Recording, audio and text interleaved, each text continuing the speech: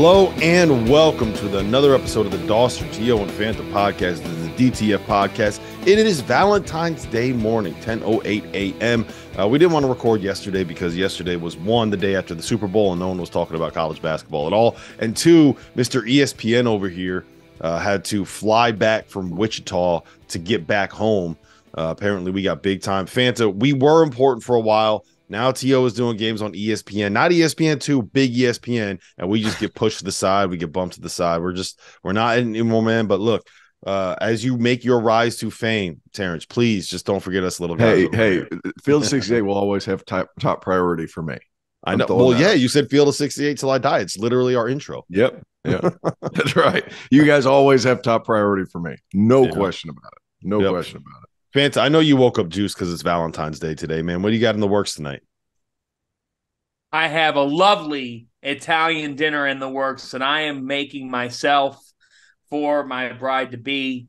We're gonna go with wonderful. I thought, I thought, for a second you were just gonna say I'm making it for myself, just no, no, no. I'm, I, but I, I'm making it myself in terms of uh, not often that I that I put the chef hat on, but we're gonna have some fresh pasta We've got some really good meatballs, and it's gonna be great salad, great garlic bread. I know Terrence wanted to turn the meatballs thing into some sort of a weird joke, but that's not going to go happen. at it. I was about to as well. Nothing better on Valentine's Day than Fanta's keep, meatballs. no, it, nothing better on Valentine's Day than a little bit of fresh pasta from John yeah, Fanta. Right. Well, that, let me tell you something. She's gonna find hey, out. Fanta, does she like her pasta al dente? That's exactly right. Abs- absolutely. Absolutely. It's going to be a great Valentine's night dinner. I don't think it can be topped because you two ha- are, are choosing to just observe the holiday with flowers. Wait, look, I, I told you this before. We're going once to dinner. Get, once you get once you have kids, like there is no holiday that has a greater difference pre-kid and post-kid than Valentine's Day. Right? Am I wrong, T.O.? Am I wrong? No, there's a lot of truth there. It's not that you don't celebrate value; you want to. Mm-hmm. But my kids were off of school today, so like they, I wake up to a balloon in my face from a five year old. My son right. sleeps until ten and starts complaining he's hungry right away. Just, not a whole lot of good, romantic. Good for him. Yeah, not not a whole lot of romantic going on up See, until tonight. So enjoy this, Fanta. Enjoy it. I'm Alabamaing Valentine's Day this year in terms of college basketball terminology. You are both Kentuckying and Carolining, thinking thinking that your reputation will be good enough for you to achieve success when really you're both fraudulent. No, hey, I'm more I'm more like Houston down here in Greenville. No, people don't not. really know what's happening on. Like I, I hold it down the entire year as opposed to having one big splash in the pan once per year. Mm-hmm. Wow. Yeah. If we were going to make the argument, Fanta is like North Carolina here, where he's just kind of like mediocre. He's just going through the motions. He's not really doing the job. Nobody really gets along. But then in crunch time, in March Madness, in the Final Four on Valentine's Day, that's the one time of the year that he actually shows up. So technically, you know, I'm out. There's a lot going on. There's a lot going on with that statement there, Dauster. You're heading straight to the bubble. I mean, all right. Listen, so you did mention Alabama, and I do think the the biggest takeaway we're we're gonna today's show is basically we're gonna go to conference by conference through the power conferences and talk about who we think is the biggest threat in March, not the best team, who is the team that is best suited to make a run uh, in the NCAA tournament. But before we do that, um, it was a little bit of a momentous weekend in the fact that Alabama went into Auburn beat Auburn. They're the new number one team in the country because Purdue lost their second game in their last three uh, at Northwestern 64 to 58. Zach Edey had six turnovers. Looks like there might be a little bit of a playbook out on how to slow down the Boilermakers at this point. Uh, and meanwhile, on all of the metrics, Houston is now the far and away significant uh, favorite or best team on KenPom, on Torvik, and all those other different metrics. So, Fanta, I ask you this: Where do you stand? Do you have you changed your mind on who the best team in the country is? Is it now clearly Alabama? Do you still think it's uh, Purdue and some teams just you know you get bit on the road when you're in Big Ten play? Is it Houston and we're just not talking about Houston? Where where do you stand right now? Well, I think it's interesting with Houston that they're 23 and 2 and and we really have not spent a ton of time on them when you compare it to Alabama and Purdue and part of that is life in the American. I mean the fact is Houston's playing in in a league that would be like 8th in the pecking order, 7th or 8th somewhere in in that area.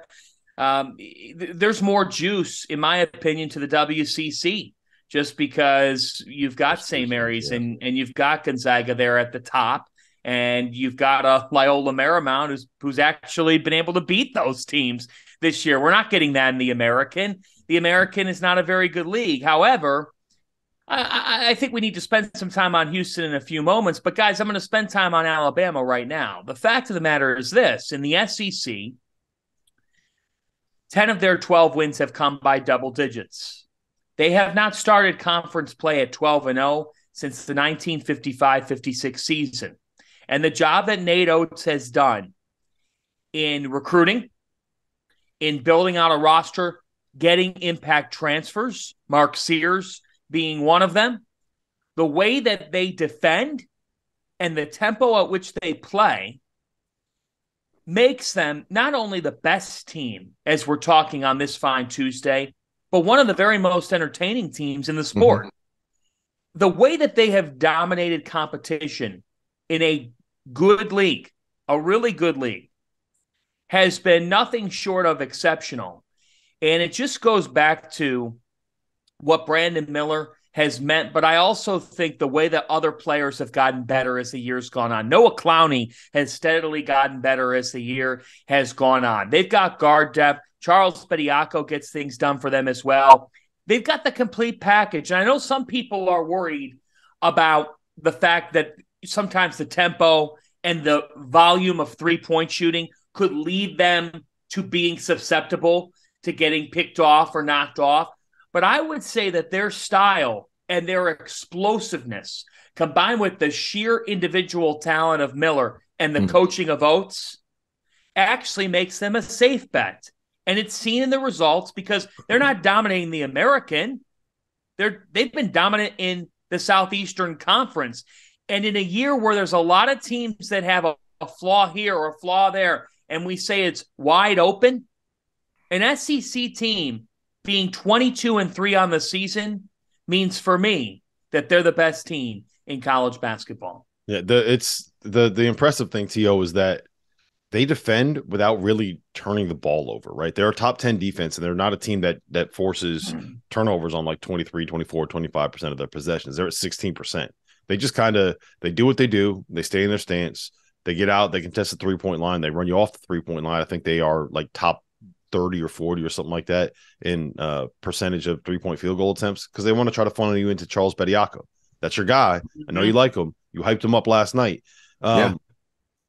I do want to let me frame it to you like this because I, I do think that we are kind of overlooking Houston, but I feel like that's because everybody knows what Houston is every single year.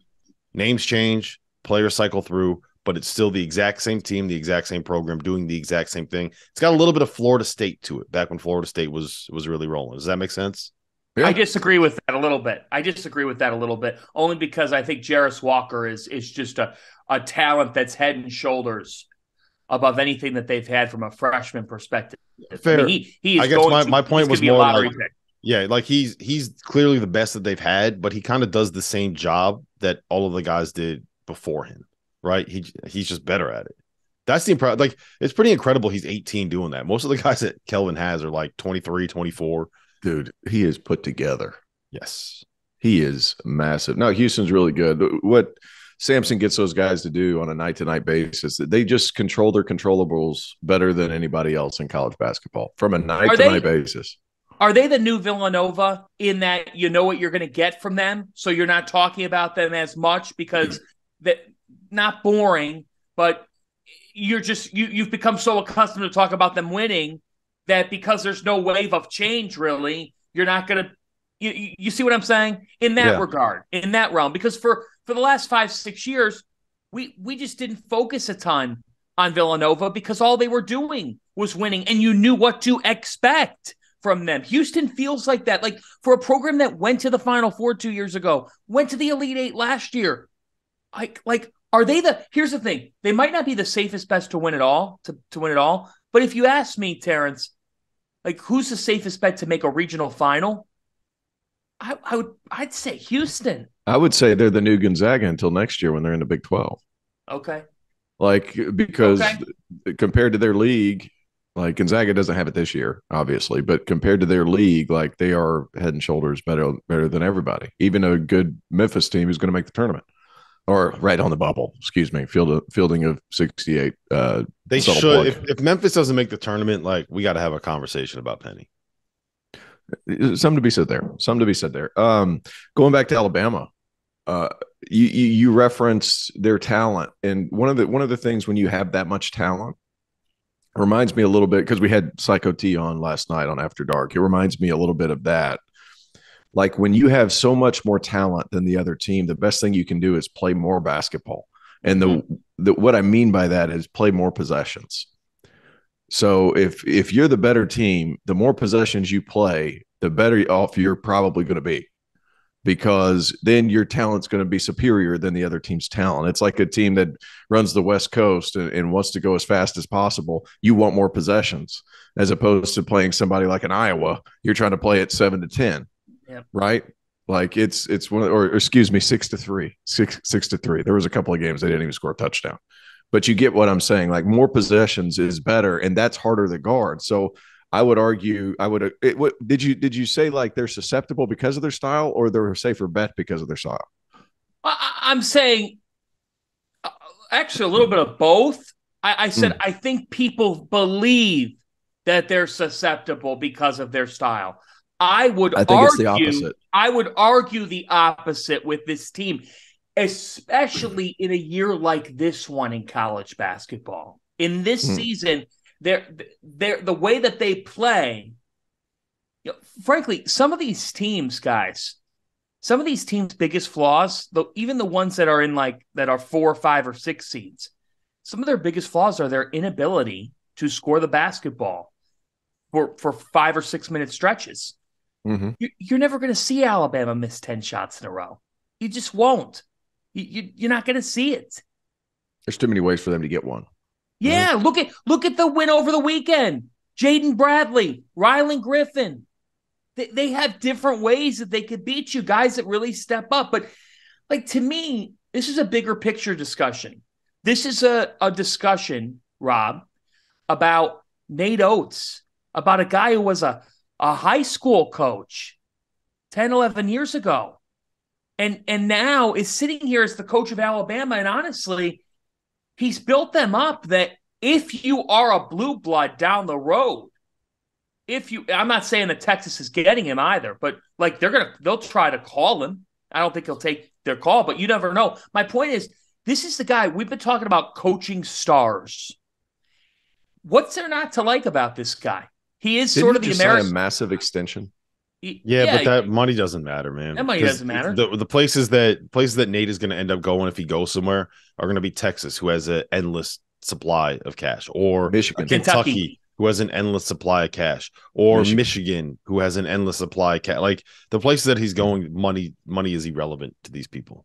To I think programs. he's he's got that face potential. Like we talk about, because you know what it is. It's not just Yep. It's not just that he's winning, right? And it's not just that he's playing, um, that he's bringing in these five star recruits. It's not that you have like a little bit of NBA pedigree there. Um, it's that he's playing a style basketball that people want to watch. That's right. You know what I'm saying? Like, yeah, as good as Houston is, as much as they win, it's not exactly the prettiest brand of basketball. Like, you go to a game and you're winning you know, you're holding teams to 40 points and, you know, you're doing a lot of your work on defense and on the offensive glass and the transition transition. Like that's going to get the job done, but you're Perfect not exactly watching that. And it's like exciting, right? But imagine putting, imagine taking what Nate Oats says offensively, putting that in front of 24,000 people at Rupp Arena, in front of a fan base that loves oh, yeah. Yeah. the, you know, that style of basketball more than anything else. Mm-hmm. Yeah, they're gonna go nuts. They're gonna love them. There's a lot to be said there. The, the I compared a little bit. I had this conversation the other day. Like we when I played in Sweden, we we had a, a, team. We led the world in scoring per 40 minutes, and that's not a lot. We we led the world in scoring per 40 minutes. We also led the world led the world in like worst defense per 40 minutes because the games would end like a buck 10 to a buck 08. This was like, a team that you were on. Yeah, in regulation. I am shocked. I am in regulation. Shocked we had that you were so, on. All they did was score and they didn't defend. I am. It shocked. was so much fun, but the thing was, was we were in a town that didn't know basketball. So what you do is you make the game aesthetically pleasing. It's fast, it's fun. There's a lot of threes, there's a lot going. Like it's it's it's fun to watch. And in a basket in a football town like Alabama or in Tuscaloosa, like people can get behind that because the energy's there. So when people go to games, they feel like they're a part of it. Mm-hmm. Like to where it's Houston, it's like it's a drag, and and gosh, it's like oh my, it's like a it's like a hard day's work sometimes watching that team if they're not playing offensively. They still win, but it's like it's different whenever you're winning 88 to 75 as opposed to you know 52 to 46 which i'm not saying houston can't score they're very good at scoring as well but it's a different way of going about it that's why his style has fit alabama very well for their fan base yeah the the one question i would have with with with nate Oats in a place like a kentucky is you have to be a different breed to be able to deal with that level of spotlight right and i'm not saying that nate can't. I think that. they could do that easily. I don't. I just don't. He's never. He's never done it. Like I thought. I thought Mac would be able to handle Louisville, right? And he was at Louisville, and obviously there was like a. There's, there's other things going on there. Though. Yeah, there's I, a lot. I, a lot of other stuff going on, but it's just you can't really know until you get into that fishbowl, right? And so that's the kind of thing. Like if I, if I had one hesitation, it's that he's never been in a place where he is the focal point to a level that he would be the focal point at Kentucky. Everything else lines up. And that's just the what? one where I'm like, well, I kind of got to see that one to to see it happen. And that's that's with pretty much anybody that has never dealt with being at a program like that before. Does that make sense? Mm-hmm. I, it does make sense, but you know what? Kentucky needs to get away from the face of the program being the head coach at the end of the day, Kentucky's about bringing in the best of the best talent and letting. Yeah, them. but it's co- that's never going to happen in college. In college, the face of the program is always going to because that's where you get the consistency and the longevity. That's it's a good just, point. Yeah, I, just, yeah, but I, I, you look at their coaches. The face about, you, yeah. you look at their great coaches like Pitino, base of the pro- program, Rupp, base of the program. Like that's just that's just that's not happen. my point. My, my that's not my point. My point is is that um, it, you you don't need to have this larger than life personality to win. Mm-hmm. At the end of the day, it's about wins. It's about mm-hmm. winning basketball games. And if you get somebody as superb as Brandon Miller, when people think of Alabama this year, they don't think of Nate Oats. I mean, not first. They think of Brandon Miller. That's that's what they're thinking about. If, if people are saying, "Oh yeah, they got that one and done kid," that's that's at least my school thought. When Mick Cronin took the job at UCLA, UCLA is not Kentucky or Duke or Kansas in 2023. It's just not. But when Mick Cronin took the job at UCLA, everybody said, can he handle LA life? Is he Los Angeles? Is he Westwood? Like, does he actually? He don't give a damn. His hmm. teams, his teams just play hard. You know what's funny? He's he's none of the he's none of those things, and it still worked. Like all of those concerns That's were valid. My point. he found a way to get it done. Sometimes we, I do think that with Cal, because of a period of he's perfect for Kentucky. He is Kentucky. He's the CEO. He's crushing it in recruiting.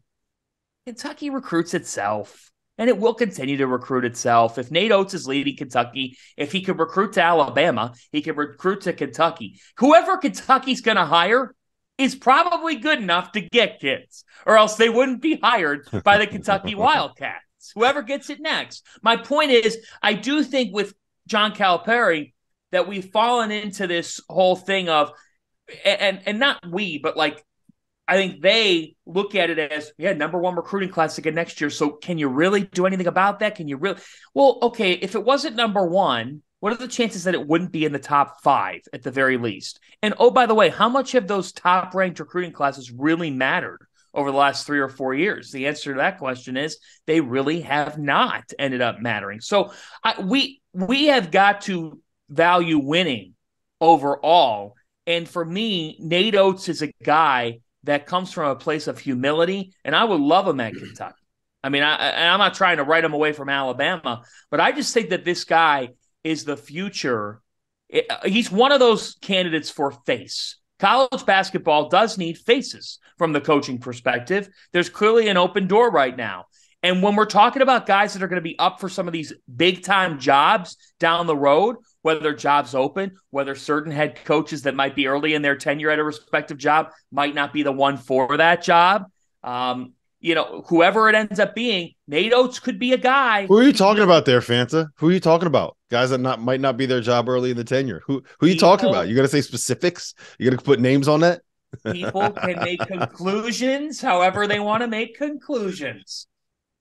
Yeah. All right. So let's get into uh the meat of today. For what it's worth, for what it's worth, uh, who I think Fanta's talking about, I'm pretty sure I called this one two games in. Oh yeah. my gosh. Two games in. Uh, it was the second game we watched it, and I was like, I'm not sure this guy's it. Well, you know, okay, all right. Don't don't do the victory lap here, Cupid. Now, there's no victory lap because I want yeah. him to succeed. There's no, no victory okay. lap because I want yeah. to succeed. Did you know two dates in that your wife, you know, was the one you had? Yeah, it? yeah. All right. I just yeah. had to pry her out of the arms of her ex boyfriend.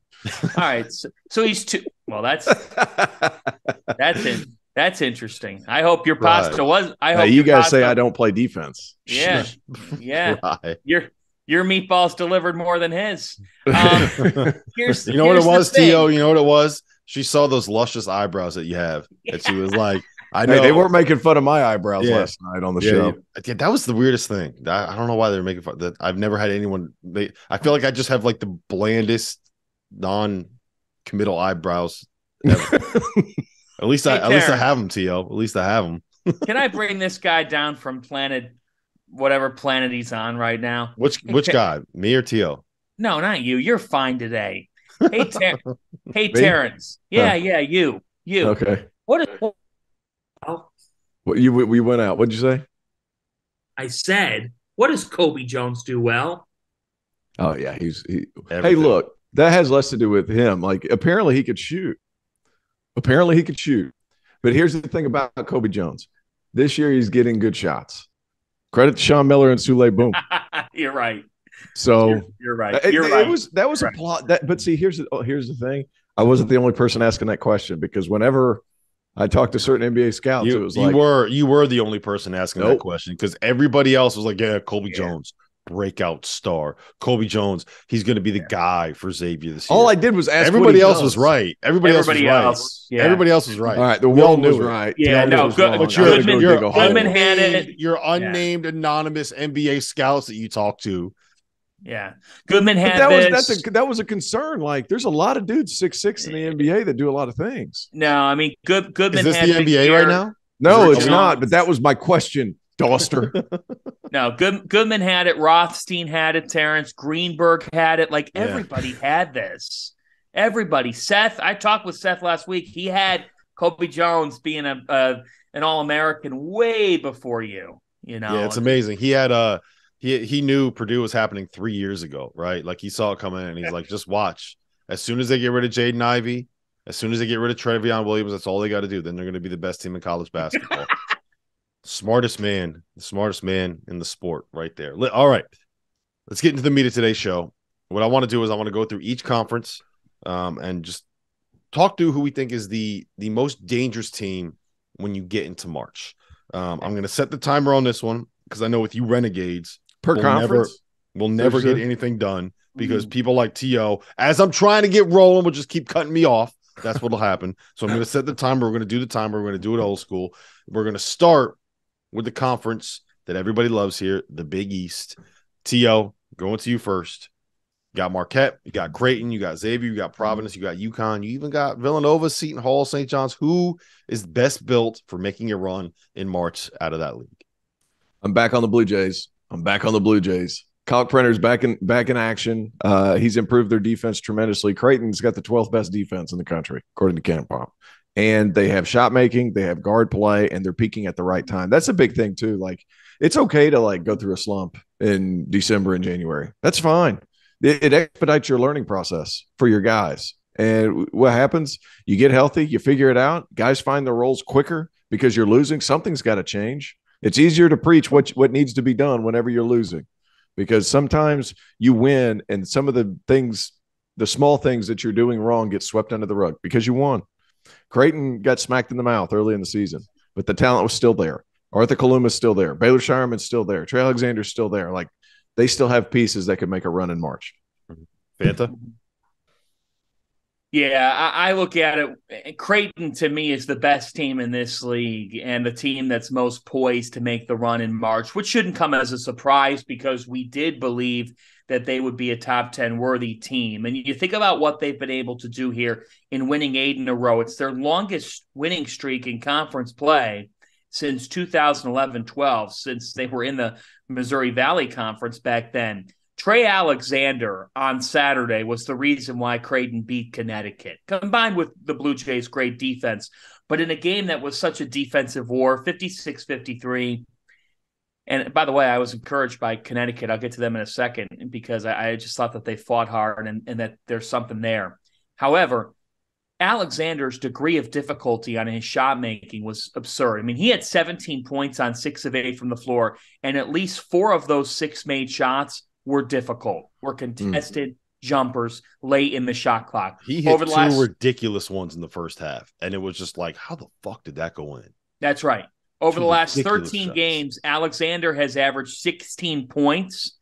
And when you have Ryan Nembhard, who's third in the Big East at assists with 5.3 dishes per game, yeah. and Ryan Kalkbrenner, who's one of the nation's leading field goal percentage guys with 73% of his shots being makes, look, they they've got it. They've got it. Now, what's interesting in this conference this year is okay, well, you've got five ranked in the AP top 25. It's not just Creighton and everybody else. No, it's actually Marquette who finds himself in the driver's seat. So you're really saying here, okay, Marquette, Xavier, Providence, then UConn. I still put UConn in the mix. Who after that? Who after Creighton's most dangerous to make the run in March? I'm saying Connecticut. And I say that because they have figured certain things out. They're guarding better.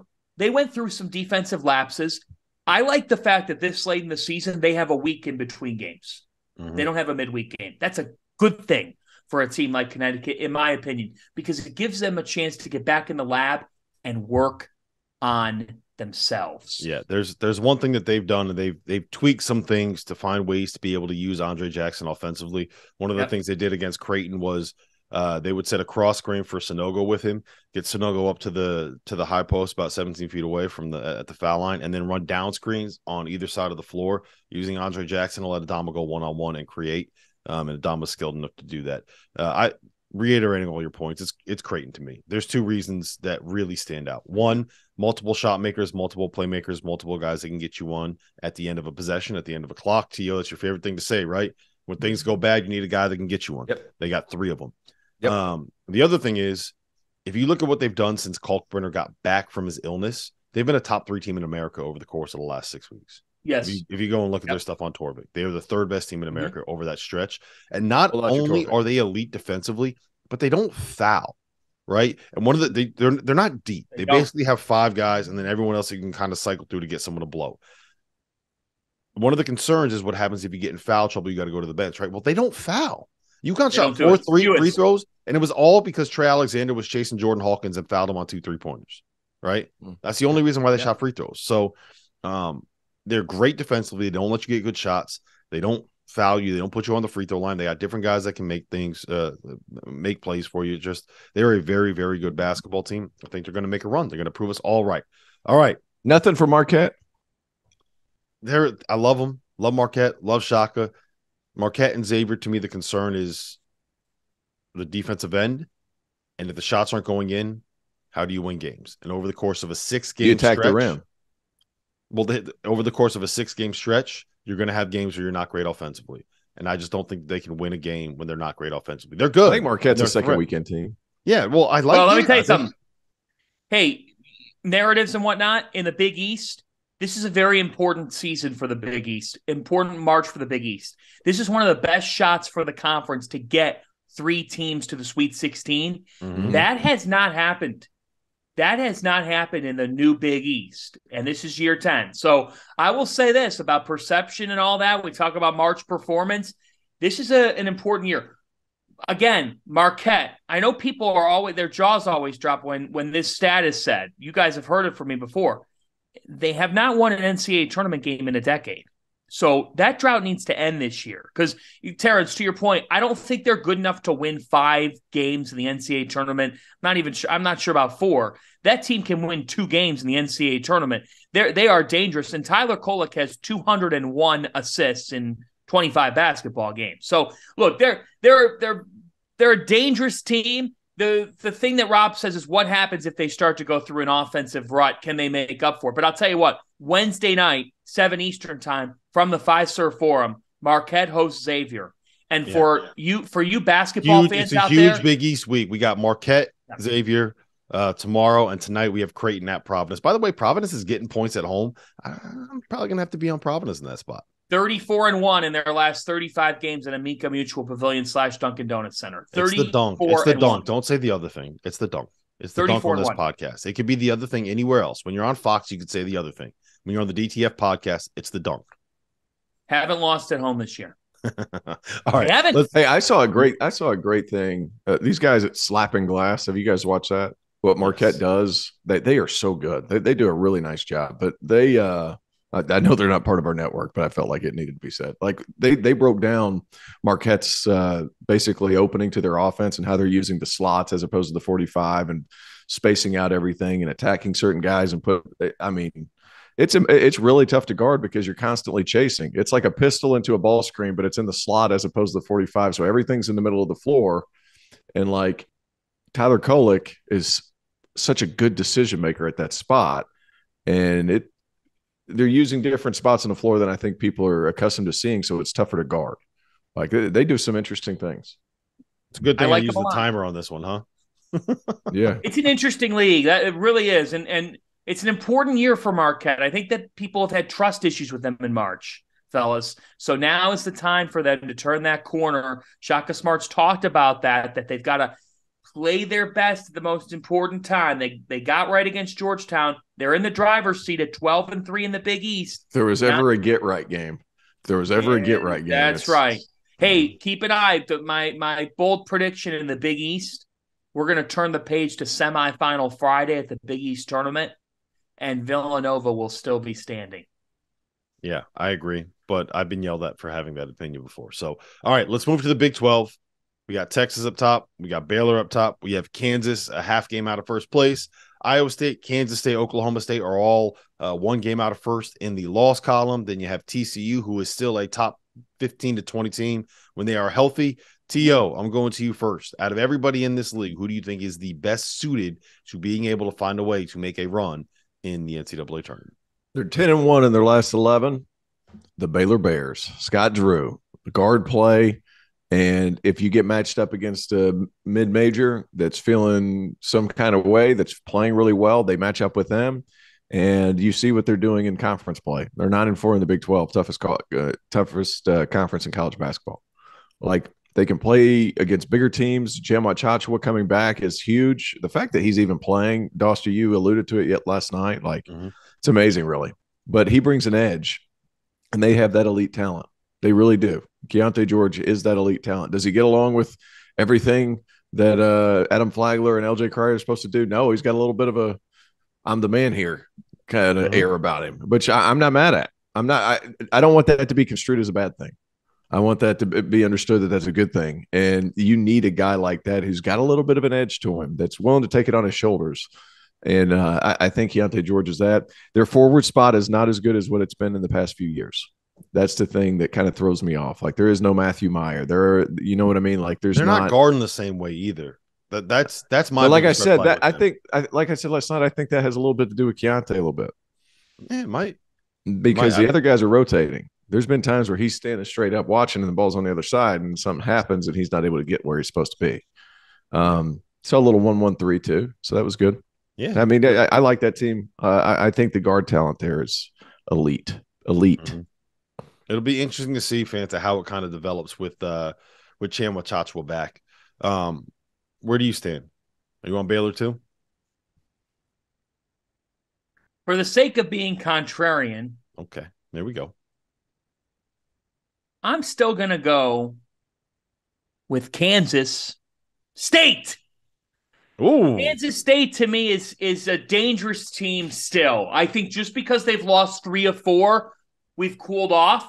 a little bit uh, on on the Wildcats, but I, I, also think that's part of life in the Big Twelve, guys. Like, I, you can't cool off too heavily on a team just because they're you know taking lumps in the best conference in college basketball, which is going to send seven, eight teams to the NCAA tournament in a ten team league. Markquis Nowell just does so many things when and when he's on, he's the type of guy. Nowell and Keyontae Johnson are the types of dudes that when you say, can they win these games? Uh, three, four, five games in a row. Could they get on that type of run? Well, they defend. Mm. So you, you know that you can count on that. And Nowell and Johnson are the type of guys that can get hot. And we know in the NCAA tournament, once you get hot, you could stay hot. And I, I just love the vibe of this team. I think the, the losses recently are going to help them. I'm still bullish on what they can do from a defensive perspective. I, I think they're a team. Scoring depth is a bit of an issue. There's no question about that. So when you don't have complementary scoring at a high level, I get a little bit nervous about that. But um, I, am still in on Nae'Qwan Tomlin. I, I, like the role that he plays for this team. He can rebound the basketball well for them, and he, and he does a does some things defensively that kind of make it difficult to face him. Make you say, "Wow!" He does some things defensively that make you say, "Wow." Yeah, he does. He does. So they're, they're a team that I'm still in on, and I just think in a year that in the year that they've had, they might be and and for all intents and purposes, Iowa State could be there again. But they might be the team that going into the NCAA tournament, some people have cooled off of on. But you shouldn't forget about what they collectively did throughout December and January, because typically that comes back around the corner once we hit March Madness. And I just think Kansas State's going to be right there in a Sweet 16. And guys, would you want to see Jerome Tang and that group motivated at that juncture of the season? I know I would, and I know that those fans would travel for the tournament. So I'm I'm gonna I'm gonna be bullish here and say that one of those teams that aren't the main brands could go end up going on a run. Kansas State is a team that I'm gonna take the torch for and lead. Yeah, so I think I love the Kansas State call. Um, but I'm going to stick with Texas because I think okay. Texas has the best combination of good guards and the ability to get stops. Right. I it feels weird not picking Kansas. Um, I just it's very hard for me to wrap my mind around a team that has basically one guy that can be a go-to guy in in terms of uh of um, Jalen Wilson. So I'll go with I'll go with Texas. Marcus Carr has proven himself to me. Um, I think that they've been a little bit better defensively uh, in recent weeks. Um, and I'm not worried about losing. What are they lost? Three of their last six, two of their last 3 mm-hmm. I'm not worried about losing at Tennessee. I'm not worried about losing at Kansas. The one, the loss at Texas Tech is a little bit mm-hmm. worrying, but like that's also a rivalry game. Yeah. Did you see this? The the the posters they had there, by the way. They had a they had a big head. You know the big heads that students print out. They had a big head of Chris Beard's mugshot, um, behind the basket which was uh, exactly what you would expect from To's people, To's folks down there in Lubbock. So I'll I'll be on Texas here. Um, I can't believe none of us said Kansas. That's pretty wild. It tells you all you know about they, they just have such a standard. Like it wouldn't just it would just wouldn't surprise anybody. Yep. Like um. All right. Indiana. I'm sorry. The Big Ten. I think I gave my. my so who do you think? This one. this one. So I might as well just go first. I think Indiana, if they not if when they get Xavier Johnson back, you got a team that has two guards, you got a team that is defending, and you got a team that has arguably the hottest player in college basketball right now, and Trayce Jackson Davis, who's been an absolute monster. Uh, they're 18 and 7 overall. They're 9 and 5 in the Big Ten. They still got a game um, at Purdue. They still have a chance to find a way to win this league. Uh, so I'll I'll be on um, Indiana here. I think that their role players have kind of figured out what their roles are. You know, Miller Kopp is making some shots. Uh, Trey Galloway, I think, is one of kind of the, the unsung glue guys, whatever cliche yeah. you want to plug in there. Like that dude just knows mm-hmm. how to make winning plays. Um, Race Thompson is back and, and contributing. Tamar Bates is a guy making shots. So I like I like what Mike Woodson has there. I like what he has there. But I will say this. I think your take, T.O., on the Big Ten at the start of the year is going to end up proving correct. Where I think there's going to be a lot of teams that kind of underwhelm a little bit when we kind of get into the NCAA tournament and we get in March. Like there are, there's a reason why a lot of these teams weren't very good in non-conference play, right? And now we're gassing them up because they won a bunch of games. Northwestern is second in the conference right now, and they lost two starters to Blue Bloods last season. says all you need. And those starters have not lit the world on fire. Yeah, addition by subtraction. Please, yeah. please do not disrespect no neck Ryan Young on the DTF podcast. I will not stand for that. No neck Ryan Young. He's got no neck. okay. Look at him. Okay. Like his his shoulders go straight to his head. If he had a neck, he'd be seven foot two. That's what makes him so effective. No one realizes like his shoulders. If you watch him stand next to Kyle Filipowski, his shoulders are higher than Kyle, Kyle Filipowski. He's like Bonzie Colson. Remember Bonzie Colson? Was that back yes. in your day, T.O.? Yeah, Notre Dame. Yeah. Yeah. Only you would so know. whenever Ryan Young turns, you're like, hey, Ryan. Yeah, that's what he does. Got okay. no neck. No. now no that neck. I've said it, now that I've mentioned it to you, next time you see him, you're not going to be able to not notice it. okay. Yeah, maybe, maybe. He does uh, look like he's like college basketball's dad bod. Like he's totally a. he yeah. is. He's totally a dad. Yeah. Yeah. Well, that with all the young kids that are on Duke's team too, that are all gangly, and he's like a grown man that looks like he just left Animal House. all right, like I got Indiana. Who you got, T.O.? uh, just everybody understands Purdue, so I'm not going Purdue. Uh, we we all understand that they're legit national title contenders, Purdue. But for the sake of the argument, another team, and I've I've, I've been pretty consistent in this, guys. Illinois, like they match up well getting some good guard play. Coleman Hawkins is playing well against non-directional schools.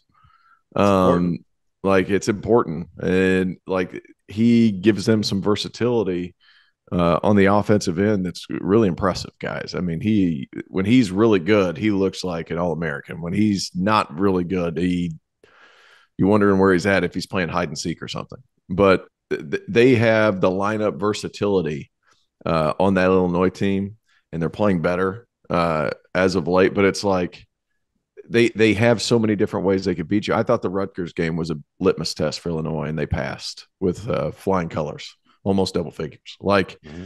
I, I, like the fact that they can go small and quick and switch, mm-hmm. and I also like the fact that you can throw Dain Dainja in there. He can guard an opposing five. Um, not named Trayce Jackson. How many teams in college basketball have the ability to play that big and also play that positionless? Mm-hmm. Yep. Yeah. But not no, it's a legitimate question. Like, uh, is there? I, I don't know if there are any that have the ability to switch the way that Illinois has the ability to switch. I would say that Miami has a shot because God, Norchad Omier can guard bigger guys at six you seven. Love you love this dude. Every every time that I've talked to you, somehow you get Norchad Omier into the conversation. Is well, I think it has more to do with the fact that I really want to pronounce his name right. like it's a solid goal of mine. I want to get it right. Uh, no, that's a hard one. That, that, they they pose a lot of challenges for a lot of people. Yep. Fanta, who you got? Kansas well, State could. Kansas State could do that. Yeah, they take their five man one, out and put Tennessee's just not very good. Huh? Tennessee's another one. Yeah. They're just huge though. Their their, their defense is predicated on being massive. Yep. Mm-hmm. Well, and and you got to play complementary basketball. And of the teams you just listed, Illinois is able to do both. Right. They, they could switch. And on the other side, they've gotten better. They, they've become more of a team. I mean, mm-hmm. Illinois' mm-hmm. issues early in the year were clearly some egos and Underwood just not getting through to his guys. It feels like whatever ended up happening, whether it was a fireside chat, whether it was Underwood yelling, he's had a fiery year from a personality standpoint. I think Brad's been frustrated, Terrence. Yep. I think Brad's been frustrated because he knew how talented the team could be. Yeah, absolutely. That that's it. You know, when you're when you've got an average team and you're sort of just hanging in, I think as a coach, you're like, yeah, this is what my team is. Like the, the reality has set in. This is who we are. To me, Brad Underwood's frustration is part of who Brad is, but also part of like he did tell us in the preseason he felt that this group was more suited to win when it mattered most yeah. because he felt like they could defend multiple positions, they could score. So I second you with Illinois. I think that they're the team that that is dangerous from a talent perspective. They've got a lead guard in Terrence Shannon. You said it. Hawkins has progressed. Dain Dainja and Matthew Mayer have been credit to Underwood for doing the simplistic thing of saying, I'm just going to take winning. He took Baylor players who were winners Dainja wasn't a part of that sample size, but he's a winning player. Matthew Mayer has been fantastic. When Mayer scores in double figures this year, Illinois has won almost every game. I mean, they they have he swings them. Mm-hmm. So and I like their freshmen. I mean, I, I think that that Jayden Epps has done good things for them. So I second you with Illinois. What I would say is this: you know, I, I I'm with Rob on the Big Ten take to a degree, but the only way to know is that's the randomness of the tournament. You know, the, the Big Ten could end up getting a couple of teams to the Sweet 16, and maybe two of them are facing teams that that ended up pulling an, an, upset off in the first round, and then you're looking at it and saying, "Well, there's a mismatch there." That's that's part of the randomization of of the NCAA tournament. My mm-hmm. my follow my final thought on the Big Ten is this. You know, I, I really, I think that Northwestern will win a first round game. I don't know what they'll do beyond that. I think so too. But I, I really like them. I mean, I, I think that the Wildcats, and here's why they're only allowing 62 points per game. So they're not going to get blown out. They're they're they're gonna however the game goes, if it's an eight nine game or a 7-10 game, whatever it is, you know it's going to be tight. And Chase Audige is a big time leader. I mean, he just steps up when they need him to. Boo Buie. Did you see Boo Buie in the locker room after that win on Sunday? We got more to prove. Mm. He that guy's a killer, and he's been around the block. He's been there forever. He bet on Northwestern. He stayed with Northwestern when he could have been a portal guy, and he wasn't. Ty Berry's gotten better. Uh, Robbie Beran's gotten better. Brooks Barnhizer, to me, was the key to the win over Ohio State. Ohio State's not very good, but Barnhizer on a night where Northwestern was looking for offense, Barnhizer couldn't miss. I like them to win a tournament game. I don't know how much further they get beyond that, but man, the Wildcats are nine and five in this league for a reason. They're a thorn in people's side because they really guard. And guys, I, we gotta we gotta pay more respect to this on Sunday. With less than four minutes to go in that game, they're down fifty-five to forty-seven. The game looked over. It looked done with. They finished that game against Purdue on a seventeen to three run. That is crazy. Good for Chris Collins. Good for the Wildcats. The people of Evanston deserve a good time. Yep. All right. Let's move to the SEC. The fighting uh, Kevin Sweeney's. Yeah, the fighting Kevin Sweeney's. Let's move to the SEC. You are not allowed to say Alabama for this answer because everybody knows Alabama is the answer. I think they are the one team in college basketball that is the best built for making a run in March. So can't say that. To the hmm. SEC. Who out of that league, non Alabama category is best suited to make a run in March? Nick Smith's coming back for Arkansas. Yeah. Um, they That's certainly the could, and they've That's made the two straight Elite Eights. But That's like, he is the kind of talented kid that like could get you back to a third one.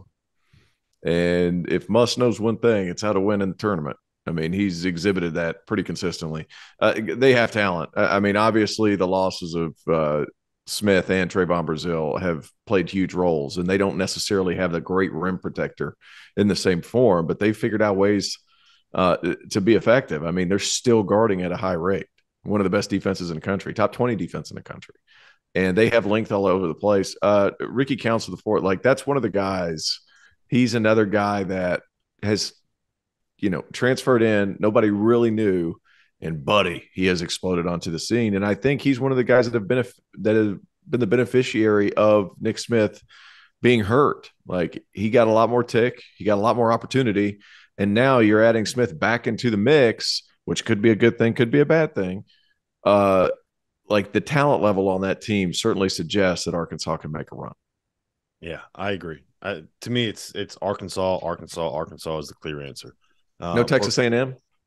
No, no Texas A&M to me. Um, they got to get in the tournament first. Uh, the reason it's Arkansas is because I think Muss is the kind of coach that's built for that situation, right? That's built for uh, one-off tournament runs. That's built for being able to figure out where you have an advantage, where you have a mismatch, and just going yeah. at it every single time, over and over yeah. and over again. And to me, Fanta, he's got three guys that can go win any matchup that you put them in: Ricky Council, Anthony Black, and now that he's back, Nick Smith.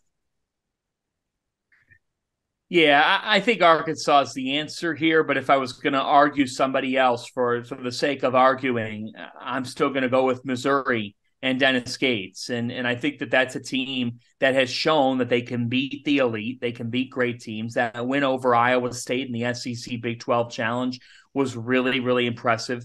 The Tigers have now won 5 of their last 6, and I love the way that Dennis Gates recruited uh, from the portal. I mean, what he was able to do in in getting DeAndre Gholston and getting D'Moi Hodge, Nick Honor as well. Uh, they just got pieces that fit together. They really did. And to me, Kobe Brown is the guy who makes this all work. And what a great NCAA tournament story it would be for a guy that stayed with Missouri, that didn't leave, that stayed committed to them through some really bad basketball. Mm. If Brown's then in an NCAA tournament victory, celebrating that. That's a full circle type of thing. That's what you stay committed to your school to do. So, hey, what you like about Dennis Gates in year one is that they do have different dudes who can go get buckets and who can fill it up. And they've got double figure scores. They've got guys who, who can make that happen on a given night. That was a very, very impressive win at Tennessee. It came in dramatic fashion over the weekend. Heartbreak for the Volunteers. I mean, it's it's amazing, guys. Here we are talking on this Tuesday on Valentine's Day, and three or four weeks ago we were talking about Tennessee and are they a legitimate national title threat? But their true colors have shown because, frankly. Mm-hmm. Um, they're hard to trust at times, and they don't really have that go-to guy down the stretch in games. So Missouri's a team. It feels like a magical year. I think there's there's merit to it. I think it's real. I like the Tigers here to potentially make that second weekend and for some people to be surprised, but I know we won't because the thing is they identified kids that are experienced and that impact winning and they don't rely on one player to win. Dennis Gates really has some different guys and they guard. They're they're a willing defensive team. That was an amazing moment. Every great season has a moment where you take a game from the jaws of defeat and you find a way to win. That Gholston three is a is a moment for Missouri that we could end up looking back on as yeah, what just a magical season for them. That was incredible on it's Saturday. Pretty, it's pretty wild when you think about it that none of us picked Tennessee, none of us picked Auburn, and none of us picked Kentucky to be the team that makes a run on March. Kentucky's actually got to get again. You got to make you, it. You got to give yeah. Dennis Gates credit like tremendously yeah. though, because it, I talked to um, Rob Lanier, uh, who's in his first season at SMU, and he's like, he's like, sometimes coaches will walk into a situation and guys will stay around and they'll be the beneficiary of guys coming together under a new regime and all that stuff. That's not the case at Mizzou. Like he walked into Kobe Brown, that was pretty much it. Like Isaiah Mosley yeah. transferred in. That's right. Terrence. DeAndre Gholston, Gholston came from Milwaukee. Noah Carter came from I think Northern Iowa. Like yeah. D'Moi Hodge followed him over. Sean East was the JUCO Player of the Year last year. Like it's a bunch of guys like he put this team together. This is not something like he just walked into.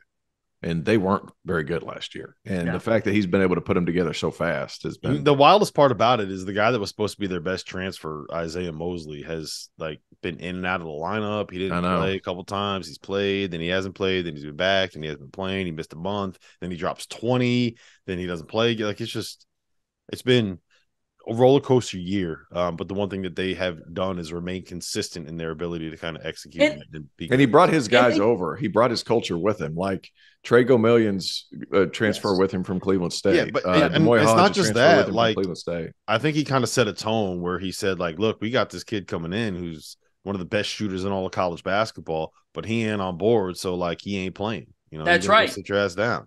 And I think that when you one when you when you kind of set that tone with someone that's supposed to be one of your most talented guys and two you got a bunch of dudes in that program that kind of buy into your culture it kind of it's going to set the tone it's going to create a culture and it's, it's the way that you can kind of flip it uh relatively quickly. All right to we're heading to your conference to your favorite conference. I know we've called you a big 10 guy.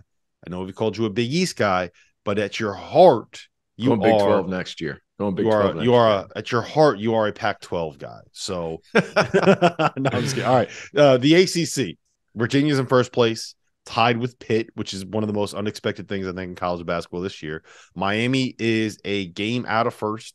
Uh, you have Clemson, a game out of first. You have NC State, two games out of first place. Wake Forest is there, Duke is there, Syracuse is there. You got to get all the way down to ninth to get to North Carolina. Out of everybody in this league, who is best suited to be able to make a run in the NCAA tournament?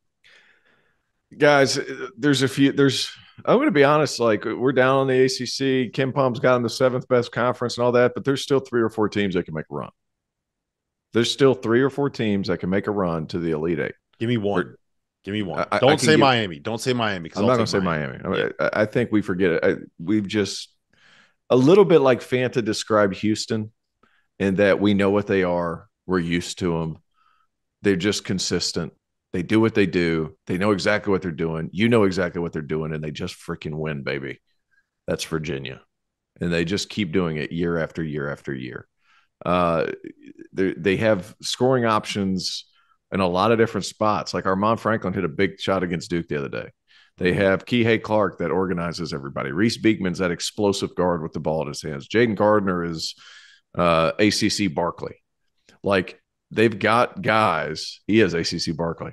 Go watch his game. He's Barkley.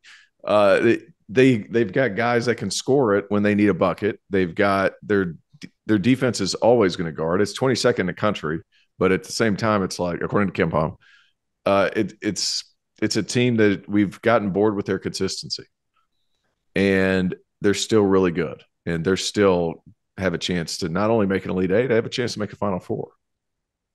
Yep, Fanta. Yeah, UCLA for me. Uh, ACC, be... ACC. Oh, I'm sorry. That's okay. It's Valentine's Day. You have your mind on other things. All right, while, while you he had his mind on his meatballs. Oh, yeah, go ahead. well, I keep. I'm he had, he had his mind. No, I keep going.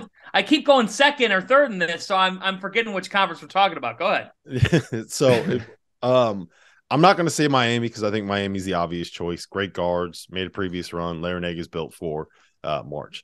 I'm going to go with NC State. I like that too. Um, I I love the presence of DJ Burns.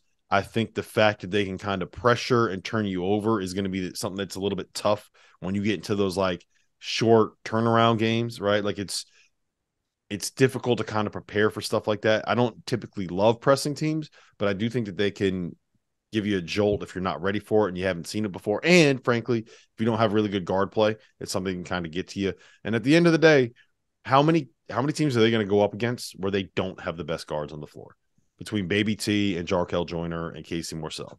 Um, not that often, right? That's got to be a top what eight backcourt in America. Yeah, at the lowest. Like they have really really good guards, uh, and I just think that they're built to be able to kind of find a way to make a run. Um, I like what Kevin Keatts does. We've seen him have success in tournament settings when he was at UNC Wilmington. And how can you not root for the big fella, DJ Burns, as, as T.O. put it, the walking refrigerator? Um, he's got With ballet feet. feet. Yeah. yeah. How can you not root for DJ Burns? That's uh that's a DTF podcast special right there. I I really like the way the NC State is built. I think they can make it. They, and they don't have a bad loss this year too. I, am looking at their at their schedule. Uh, Kansas at uh no Kansas, Pitt at home, Miami at Clemson, uh, at Carolina, Virginia at Virginia. Mm-hmm. So like they're beating who they're supposed to beat. My first inclination is like, well, if they play somebody as DJ Burns, going to be able to you know, guard a mid major that's coming off staggers and shooting. Can he get out there? But I, I just, I, agree with you. I think they're really good, and they don't turn the ball over, largely in part because they don't pass it a ton. But they, but they're still getting shots up at the rim. I mean, you're not kidding, Fanta. Go yeah. ahead. you know, I was thinking about this uh, last night with Miami. Would, by the way, I would have I would have died laughing if you would have come on and been like, "I think it's Arizona." yeah. I'm sorry. I'm sorry, that's a brain fart by me. Um, yeah, I was thinking about this last night with Miami. During the offseason, they obviously made the headlines when we had the Nigel Pack, Isaiah Wong drama of the NIL money. In that moment, you're saying, well, is Miami going to be dysfunctional? Is this going to be bad? Oh, this is life with NIL. We're going to see a bunch of other cases like this. And the fact is, we didn't see a ton of those types of cases that went public and all that. Mm. That was the best thing that could have happened for Miami. Twist. Twist. Yeah. Here's why. If you're a 17 or 18 year old kid, you're looking at that and you're saying dollar, dollar, dollar. uh, I can get it at Miami. The Hurricanes can flourish in the era of NIL, and they are. And to me, they're the most dangerous team in the ACC to make that deep run because mm. Wong and Pack together just makes for an absolute nightmare for an opposing defense. Jordan Miller is like the mop up man. He he just he seems to cover any other ground that he that they need him to do so on and and he's a guy that just his he's a real tough matchup for a defense. He makes things happen. He can attack the rim. And I love the way we talked with him on After Dark earlier this year. I just loved his whole mentality. He's a great presence for that team. He played with an edge last night. Yeah, he does. He he really plays with an edge. And Omier, as Terrence said, when you've got great guard play, do you have somebody that can hold things down against an opposing big man? And that's what Omier does. He makes it hard for opposing bigs to get into a rhythm and and he's a guy that establishes toughness. Like this is not a team that just can fill it up. They're a team that's got some grit to them. They've got a collective nature and they've got a head coach who has not retired or walked away. Instead, he's staying around and he's getting better with age. I mean, Jim Larrañaga is one of the more underrated guys nationally for what he's done throughout the course of his career, whether it be 2006 with George Mason, but now at Miami. Like, if he goes to back to back Elite Eights with the Miami Hurricanes, are you kidding me? They're that good. They are good enough. And, and here's the thing: like he could have had that thing. Eight he could have had that thing rolling all along if they didn't get caught up in the uh in the FBI scandal, which was bullshit, by the way. They never they never should have been involved. They never should have had their name mentioned. Uh, they were cleared of everything. There was no violations committed, so they could have uh they could be a dynasty right now if it if it if it had not been for um the yeah. the uh what is it the the southern the southern district of New York the uh the FBI there messing up that case, but that's a different podcast for a different day. All right, last one, Pac twelve. Fanta, we already know who you got. It's that we're going to the Pac 12 this time, Fanta. You ready? Who yeah. you got? We know who you, yeah, got. If I, you got. If I didn't pick Alabama to win the national championship right now, I know it's the easy pick. Uh, I would pick UCLA to win it all. Um, just a team that one of the best traits you can have as a team is you can settle into a game well. They really know how to settle into a game on Saturday night, I watched them play Oregon, and they fall behind eight nothing. Eight nothing at Oregon. Crowd's going crazy. sitting there, I'm thinking, oh boy, you know this could be huge for Oregon, who's on the bubble, starting to play better. Oregon needs to seize this opportunity. And Jaime Jaquez does not flinch. He really doesn't. Uh, he is as winning of a player that you're going to find in college basketball. That guy just impacts winning. Mm-hmm. So they've got Jaquez, an All American. Tyger Campbell has been with UCLA. I mean, it feels like he's in his seventh or eighth year of college. Mm-hmm. When you've got a multi year starting point guard to hold things down, you're in a great place. Jaylen Clark has gotten better. David Singleton has gotten better. Jaylen Clark might be a top five defensive player in the country. One hundred percent. One, and he's the Pac-12 steals leader. Mm-hmm. He guards like there's no tomorrow. And, you know, when you've got all these pieces and vets, it's so it just makes it easier for a big man to be able to fit in then. And Adem Bona has been able to do that. So the Bruins have it. They they really do. They are my pick. Um, and I think I really I really think that this team can win it all. I, I just I, they're the team when we talk about your ability to win six consecutive games. This is where I'll go hot take.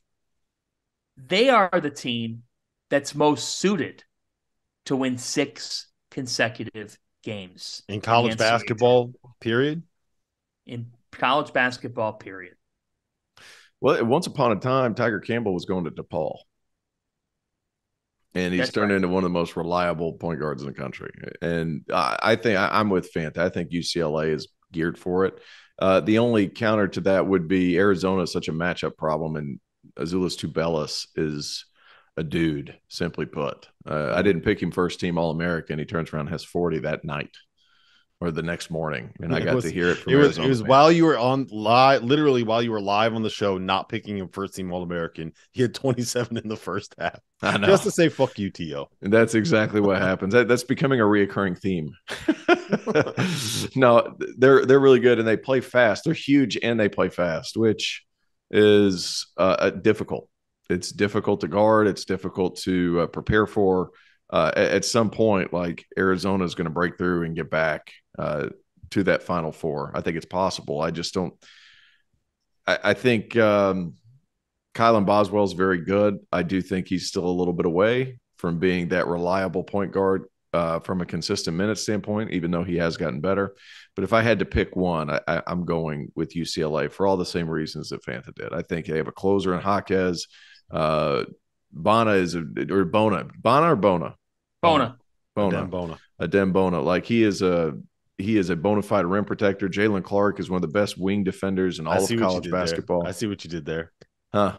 He's bona fide. Bona fide. I like that. That's going to get Good used job. by Raph. Bona fide. Raph t-shirt. T-shirt in March. Raph the only problem with making that. that T-shirt is I'm not sure he'll be around next year. Yeah. Um. All right. So I, am with you guys. My, my I, I love Arizona. I think Arizona is a very very good team. I would have them like in the top eight when it comes to winning a national title. My only concern is it's a little bit of a matchup issue, right? We've seen it with some of these other teams that play big guys that rely on big guys. If you get into a tournament setting where someone can space you out, uh, they don't have one big guy; they have two big guys that they got to play. So I'm a little worried about that. The other thing, I talked about Amari Bailey on here over and over and over again, right? His mm-hmm. last five games since he got back from injury, he's averaging 13 points. He had 24 against Oregon State. He scored double figures in mm-hmm. four of those five games. The only game he didn't score double figures in, he had eight points against Oregon. Uh, getting him going, having him playing well is everything for UCLA. It gives you a second option uh, that can kind of create. So I'm in on UCLA. I think that they yeah. are a t- they're they're legitimately a top five team in America. Kind of want to see them beat somebody better than you know Utah, USC.